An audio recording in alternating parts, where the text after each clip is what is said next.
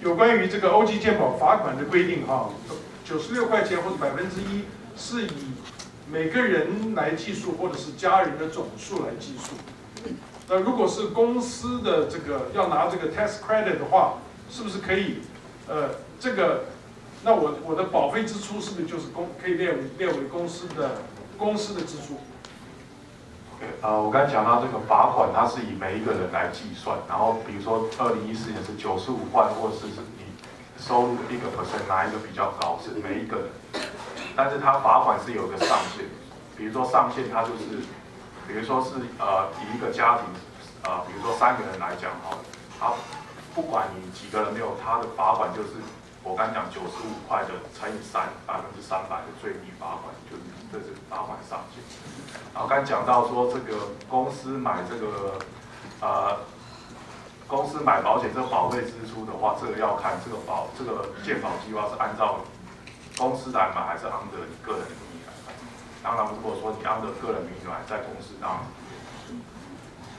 呃，有一个问题是说，我的公司，我公司呃，现在给我一个给我一个福利是说，如果我不参加公司的健保计划，公司每个月给我两百块钱 allowance。那我是不是可以用这个钱，我自己我用个人的名义到这个纽约州的这 marketplace 去买我自己的保险？那这样子的话，对我来讲是哪一个是比较对我来讲是比较好的？我想哪一位可以答复这个问题？The question is, my company offer a incentive for me to drop out from the company-sponsored healthcare program. So I get $200 allowance monthly. Uh, would it be better for me to take that money and buy a uh, insurance as an individual through the marketplace?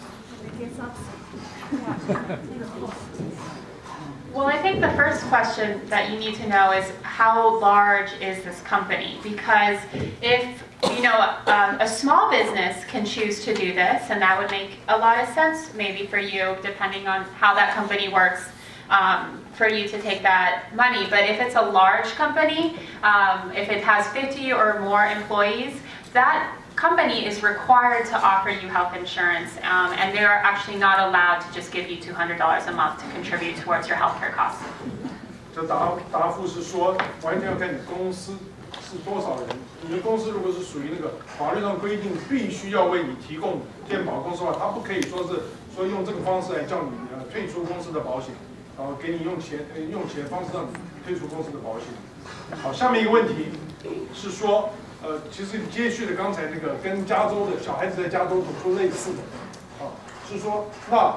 呃，在这个呃留在对不起，刚才就是如如果这个孩子照您刚才这样子的解释，他没有办法没有办法得到他最想要有的照顾的话，他是不是可以呃？自己在加州另外买学生保险，他不会受到这个，因为呃就没有没有没有买欧基健保必须接受的处罚，你这样的规定，有没有这样子？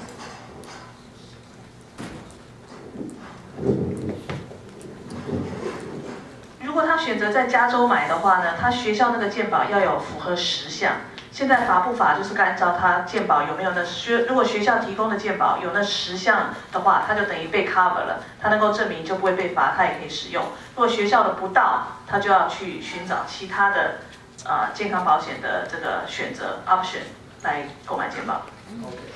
十项，大家大家了解哈，就是包括这个也不能够拒绝你这个那个原来有的病的那些东西的。OK。呃，还有一个东西是一个比较专业的哈，这是可能是要问呃郑会计师的。他说，保费扣除的 tax credit 和政府补助部分之后啊，从我口袋里面掏出来的钱，啊，刮胡 out of pocket money，可不可以在 Schedule A 的 itemized 这个 deduction 里面来扣除？或者他有一个他有一个独资公司，他我写他写的 solo company 带就是独资公司，呃，每年是在 Schedule C 报税。那么这个部分呢，呃，可不可以在 Schedule C 里面来来复利的大？OK 啊。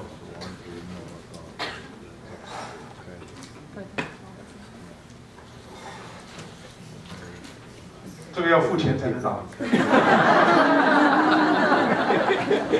我在想想想想，讲就是说这个如果说是 Schedule C 的话，你自己这个呃付款的部分呢，因为 Schedule C 我们可以当做自付，所以你。基本上你是应该是可以所谓的 self-employed 这个 tax credit，你可以在这个呃收入调整的地方直接就减掉。好，那我们谢谢台上各位贵宾的呃回答的问题呢，谢谢各位台下观众的参与。那我们今天活动就到一个大段落了，谢谢大家，呃，掌声。